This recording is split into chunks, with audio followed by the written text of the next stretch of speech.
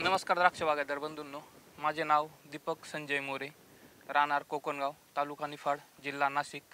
माझं एकूण अकरा एकर क्षेत्र आहे. तर त्यामध्ये Sharad seedless flame seedless Thompson आणि मामा जंबो आणि अनुष्का अशा व्हरायटी आहे. हा जो प्लॉट आहे हा फ्लेमचा प्लॉट आहे. फ्लेमच्या प्लॉटची तारीख एकवीस सप्टेंबर छाटणी तारीख आहे.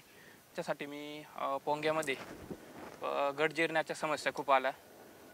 पावसामध्येच प्लॉट होता. त्याच्यासाठी मी याराचे बड बिल्डर प्रति ग्राम अडीच प्रति लिटर अडीच ग्राम असा एक स्प्रे घेतला. त्याच्यानंतर घडणे जिरण्याच्या समस्या मला बरीचशी कमी आली या प्लॉटमध्ये. माल चांगला निघाला.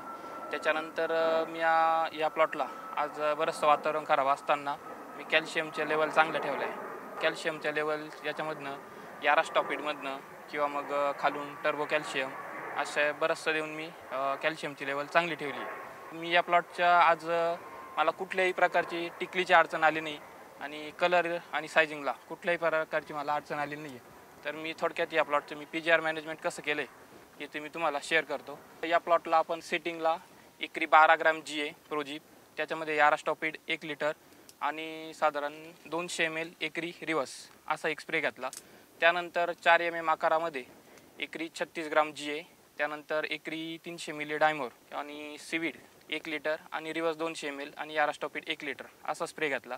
त्यानंतर सहा एम एम आकारामध्ये एकरी छत्तीस ग्राम जी ए इजीटेक सी पी पी ऑर्चिडचे सहाशे एम एल त्यानंतर त्याच्यामध्ये मला साईज एकदम जवळपास सोळा प्लस साईज झाली माझ्या प्लॉटची तर या प्लॉटचा एकसारखा कलर येण्यासाठी मी आमिकसचे आमिकार्ब प्रति दोन एम एल प्रति लिटर असा एक स्प्रे घेतला असून त्यानंतर याराचे सेनिफॉस प्रति दोन एम एल प्रति लिटर असा एक स्प्रे घेतला आहे तर मला या प्लॉटला आज वातावरण खराब असतानाही कुठल्याही प्रकारची काही अडचण आली नाही. एक सारखा प्लॉट तयार झाला आहे आणि त्यानंतर मी या प्लॉटमध्ये साडेआठ पाचचं अंतर आहे माझं. तर बंद बंच सिलेक्शन करताना पस्तीस ते सदतीस गडसंख्या ठेवली आहे.